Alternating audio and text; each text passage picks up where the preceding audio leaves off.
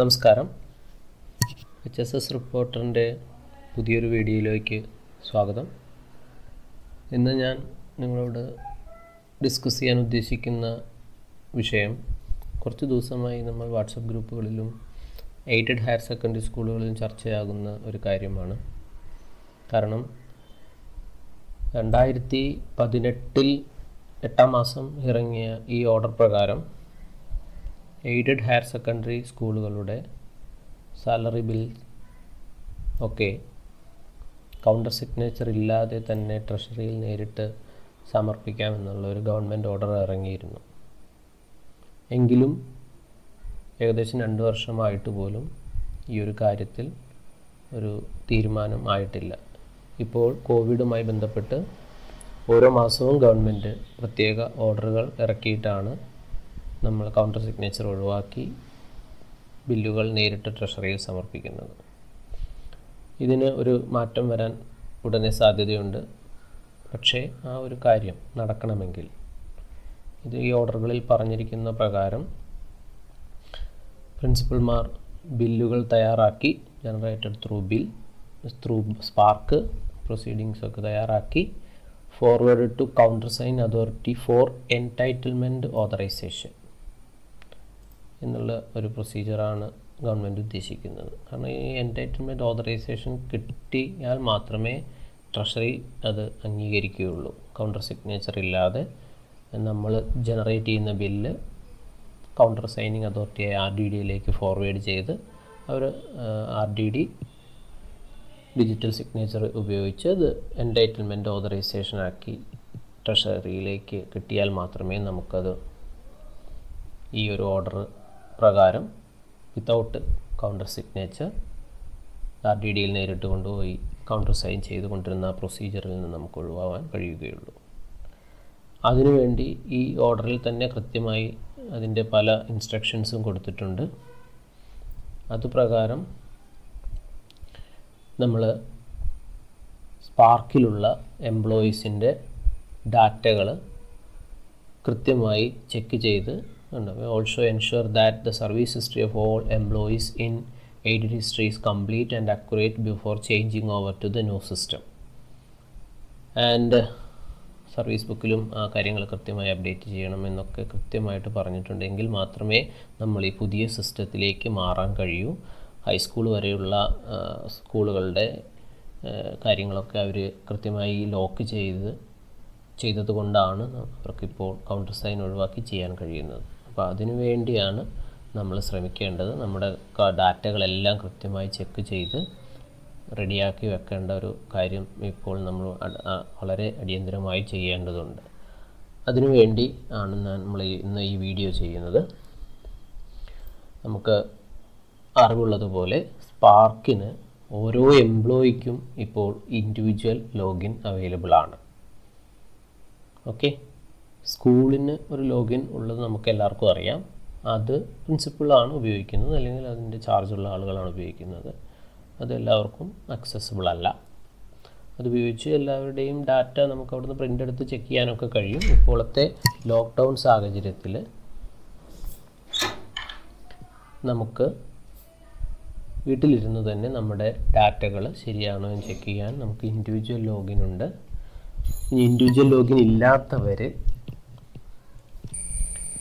സ്പാർക്കിന്റെ web പേജിൽ കയറിയാൽ SPARK dot G O V dot in web web SPARK എന്ന് പറയുന്ന ലോഗിനിൽ കയറിയാൽ നമുക്കിവിടെ നോട്ട് രജിസ്റ്റേഡ് യൂസർ എറ്റ് എന്ന് പറയുന്ന ഓപ്ഷനിൽ രജിസ്റ്റർ നൗ ക്ലിക്ക് ചെയ്താൽ നമുക്ക് ഇതുവരെ ഇൻഡിവിജ്വൽ ലോഗിൻ ഇല്ലാത്ത ഒരു എംപ്ലോയിക്ക് പുതിയ ലോഗിൻ ഉണ്ടാക്കാൻ കഴിയും. ഈ ഡീറ്റെയിൽസൊക്കെ എന്റർ ചെയ്ത് കൊടുത്തു കഴിഞ്ഞാൽ നമ്മുടെ സ്പാർക്കിൽ രജിസ്റ്റർ ചെയ്തിട്ടുള്ള മൊബൈൽ നമ്പറിലേക്ക് ഒരു ഒ ടി പി വരും. അതൊക്കെ സബ്മിറ്റ് ചെയ്ത് കഴിഞ്ഞാൽ നമുക്കൊരു ഇൻഡിവിജ്വൽ ലോഗിൻ ഉണ്ടാക്കാൻ കഴിയും. ഉണ്ടാക്കാത്ത എംപ്ലോയി എംപ്ലോയീസ് ആരെങ്കിലും ഉണ്ടെങ്കിൽ ഇത്രയും പെട്ടെന്ന് ഒരു ഇൻഡിവിജ്വൽ ലോഗിൻ ഉണ്ടാക്കുന്നത് നന്നായിരിക്കും. അത് വളരെ ഉപകാരമുള്ള ഒരു കാര്യമാണ്. നമുക്ക് സാലറി സ്ലിപ്പ് എടുക്കുന്നതിനും നമ്മുടെ ടാക്സ് കാര്യങ്ങളുമായിട്ട് ബന്ധപ്പെട്ട് ഡ്യൂ ഡ്രോൺ സ്റ്റേറ്റ്മെന്റുകൾ എടുക്കുന്നതിനും ഒക്കെ അത് ഉപയോഗപ്പെടും. ഓക്കെ അപ്പോൾ നമ്മുടെ ഇൻഡിവിജ്വൽ ലോഗിൻ ഡീറ്റെയിൽസ് ഉപയോഗിച്ച് സൈൻ ഇൻ ചെയ്യുക. സൈൻ ഇൻ ചെയ്ത് കഴിയുമ്പോൾ ഇൻഡിവിജ്വൽ ലോഗിനിൽ നമുക്ക് എല്ലാ മെനുകളും ഒന്നും അവൈലബിൾ ആയിരിക്കില്ല. എങ്കിലും നമുക്കിവിടെ പ്രൊഫൈൽ മെനുവിൽ പേഴ്സണൽ മെമ്മോറാണ്ട നമ്മുടെ സ്പാർക്കിൽ എന്റർ ചെയ്തിരിക്കുന്ന എല്ലാ ഡീറ്റെയിൽസും ചെക്ക് ചെയ്യാനൊരു അവസരമുണ്ട്. ദെൻ സർവീസ് ഡീറ്റെയിൽസ് നമുക്ക് കാണാൻ നമ്മുടെ പല സ്കൂളുകളിലൊക്കെ വർക്ക് ചെയ്തവരുണ്ടാവും. ജൂനിയർ ടു സീനിയർ അങ്ങനെ എല്ലാ വിഷയങ്ങളും എല്ലാം നമുക്ക് നമ്മുടെ സർവീസ് ഹിസ്റ്ററി ഇവിടെ ചെക്ക് ചെയ്യാൻ കഴിയും. നമുക്ക് നമ്മുടെ നോമിനി ഡീറ്റെയിൽസ് നോക്കാൻ കഴിയും. നമ്മൾ പല വിഷയങ്ങൾ കൊടുത്തിരിക്കുന്ന നോമിനി ഡീറ്റെയിൽസ് നോക്കാൻ കഴിയും. ദെൻ ഫാമിലി ഡീറ്റെയിൽസ് എന്റർ ചെയ്യാനുണ്ടെങ്കിലും ക്വാളിഫിക്കേഷൻസ് അഡീഷണൽ എന്തെങ്കിലും എന്റർ ചെയ്യാനുണ്ടെങ്കിലും വ്യൂ ചെയ്യാനൊക്കെ നമുക്ക് ഇവിടെ ഓപ്ഷൻ ഉണ്ട്. നമ്മുടെ ഡാറ്റ ഷീറ്റ് നമുക്ക് ഡൗൺലോഡ് ചെയ്തെടുക്കാൻ കഴിയും. നമ്മുടെ കംപ്ലീറ്റ് ഇതിലെ ഡാറ്റ എന്തൊക്കെയാണ് എന്റർ ചെയ്തിരിക്കുന്നതെന്ന് നമുക്ക് ചെക്ക് ചെയ്ത് നോക്കാൻ ഓപ്ഷനുണ്ട് അപ്പോൾ ഒരു ഇൻഡിവിജ്വൽ ലോഗിനിൽ നമ്മുടെ ഡാറ്റയിൽ എന്തെങ്കിലും തെറ്റുകളുണ്ടോ എന്നൊക്കെ നമുക്ക് ചെക്ക് ചെയ്യാൻ കഴിയും. നമ്മൾ സ്പാർക്കിൽ എന്റർ ചെയ്തിരിക്കുന്ന ഏകദേശം കംപ്ലീറ്റ് ഡാറ്റകൾ നമുക്ക് പ്രിന്റ് എടുത്ത് ചെക്ക് ചെയ്യാനൊക്കെ ഓപ്ഷനുണ്ട് ഇതിനൊക്കെ ഡി ഡി ഒയുടെ ലോഗിന് നമ്മുടെ സ്കൂളിന്റെ ലോഗിന് ഡിപ്പെൻഡ് ചെയ്യേണ്ട കാര്യമില്ല. ഓക്കെ ഇതിൽ ദെൻ സർവീസ് മാറ്റേഴ്സിൽ ലോൺസ് എന്തെങ്കിലും ഉണ്ടെങ്കിൽ അതിന്റെ ഡീറ്റെയിൽസ് ഇവിടെ നമ്മൾ പി എഫ് ലോണുകളോ എന്തെങ്കിലും എടുത്തിട്ടുണ്ടെങ്കിൽ അതിന്റെ ഇപ്പോൾ എത്ര അടവായി എന്നൊക്കെ അറിയാൻ നമ്മൾ സ്കൂളിലെ പ്രിൻസിപ്പളിനെ ബുദ്ധിമുട്ടിക്കേണ്ട കാര്യമില്ല. ഇതെല്ലാം നമുക്ക് ഇവിടെ അവൈലബിൾ ആവും. ലോൺ എടുത്തിട്ടുണ്ടെങ്കിൽ ഇവിടെ ലിസ്റ്റ് ചെയ്യും. ദെൻ സർവീസ് മാറ്റേഴ്സിൽ നമ്മുടെ സർവീസ് ബുക്ക് ഇപ്പോൾ നമുക്ക് ഈ സർവീസ് ബുക്കാണ് ഇപ്പോൾ പുതിയ തീരുമാനപ്രകാരമുള്ളത്. അത് നമുക്ക് കാണാൻ കഴിയും. ഈ സർവീസ് ബുക്ക് നമുക്ക് അവൈലബിൾ ആണ്. ഇംഗ്ലീഷ് വേർഷനും മലയാളം വേർഷനും ഒക്കെ അവൈലബിൾ ആണ്. അതെടുത്ത് ചെക്ക് ചെയ്യാൻ പറ്റും. നമുക്ക് നമ്മുടെ സാധാരണ സർവീസ് ബുക്ക് പോലെ നമുക്ക് നെക്സ്റ്റ് പേജ് നമ്മുടെ സർവീസ് ബുക്ക് പോലെ നമുക്ക് കാണാൻ കഴിയും.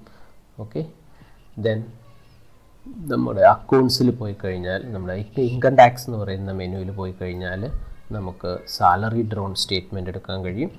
കാരണം രണ്ടായിരത്തി പത്തൊമ്പത് ഇരുപത് അല്ലെങ്കിൽ ഇരുപത് ഇരുപത്തൊന്ന് കാലത്തെ നമ്മുടെ ഡ്യൂട്രോൺ സ്റ്റേറ്റ്മെന്റുകൾ ടാക്സ് ഒക്കെ ചെയ്യുമ്പോൾ വളരെ ഉപകാരപ്പെടുന്ന ഒരു കാര്യമാണ്. ഇതിനൊക്കെ നമ്മൾ പ്രിൻസിപ്പളുമായി ഡിപ്പെൻഡ് ചെയ്യാതെ നമുക്ക് സ്വന്തമായിട്ട് നമ്മുടെ സാലറി ഡ്രോൺ സ്റ്റേറ്റ്മെന്റ് കാണാൻ കഴിയും.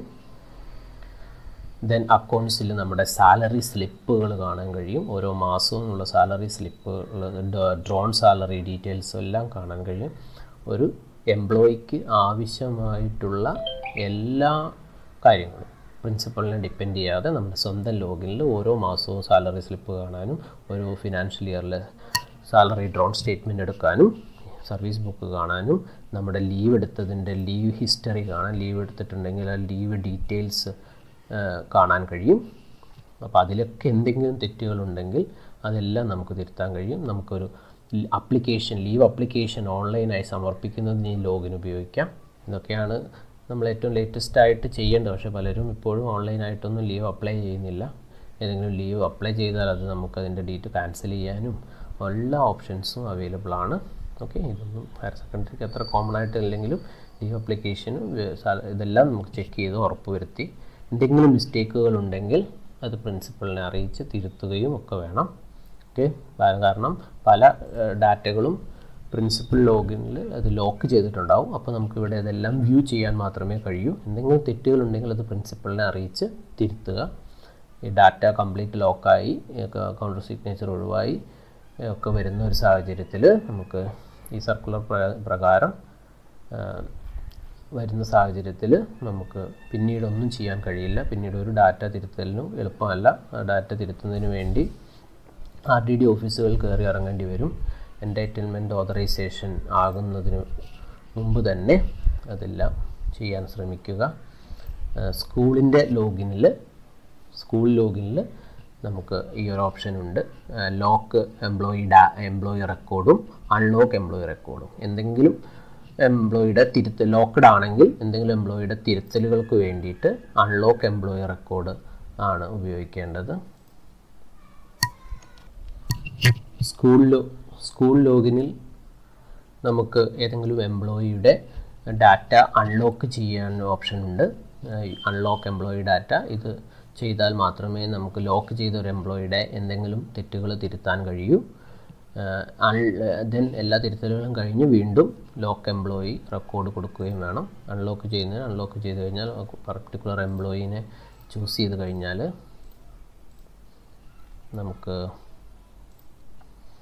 ഡാറ്റകൾ ആവശ്യമുള്ള തിരുത്തേണ്ട ഡാറ്റകൾ അവിടെ ടിക്ക് ചെയ്ത് നമുക്ക് റീസൺ കൊടുത്ത് അൺലോക്ക് ചെയ്യാം. ഓക്കെ? അത് കഴിഞ്ഞ് നമുക്ക് ആവശ്യം കഴിയുമ്പോൾ പറ ഇവിടെ ഡാറ്റകൾ തിരുത്തി കഴിയുമ്പോൾ new sorry.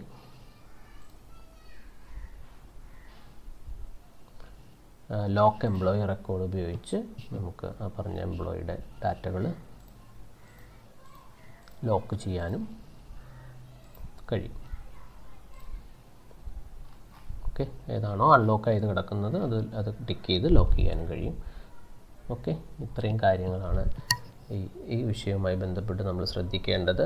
എത്രയും പെട്ടെന്ന് തന്നെ ഓരോരുത്തരും ഇൻഡിവിജ്വൽ ലോഗിൻ ഉപയോഗിച്ച് അവരുടെ ഡാറ്റകൾ ലീവ് ഹിസ്റ്ററിയിലോ സർവീസ് ഹിസ്റ്ററിയിലോ എന്തെങ്കിലും ഡാറ്റയിൽ തെറ്റുകളുണ്ടെങ്കിൽ നോമിനി ഡീറ്റെയിൽസിലോ എന്തെങ്കിലും ഡാറ്റയിൽ തെറ്റുകളുണ്ടെങ്കിൽ അത് തിരുത്താൻ വേണ്ടി പ്രിൻസിപ്പളിനെ അറിയിക്കുകയും അത് ഉടൻ തന്നെ തിരുത്തുകയും വേണം. കാരണം ഈ കൗണ്ടർ സിഗ്നേച്ചറുമായി ബന്ധപ്പെട്ട തീരുമാനങ്ങൾ വരുമ്പോൾ മിക്കവാറും നമ്മുടെ കംപ്ലീറ്റ് അൺലോക്കിംഗ് പവർ പ്രിൻസിപ്പളിന്റെ അൺലോക്കിംഗ് പവർ നഷ്ടപ്പെടാൻ സാധ്യതയുണ്ട്. അപ്പോൾ നമ്മൾ ഓരോ കാര്യത്തിനും ഓരോ തിരുത്തലുകൾക്കും വേണ്ടി ആർ ഡി ഡി ഓഫീസുകളിൽ ഡിപ്പെൻഡ് ചെയ്യേണ്ടി വരും. അതിനു മുമ്പ് നമ്മുടെ എല്ലാ എംപ്ലോയീസിന്റെയും ഡാറ്റകൾ കൃത്യമായി തിരുത്തപ്പെടാൻ ശ്രമിക്കണം. Okay thanks for watching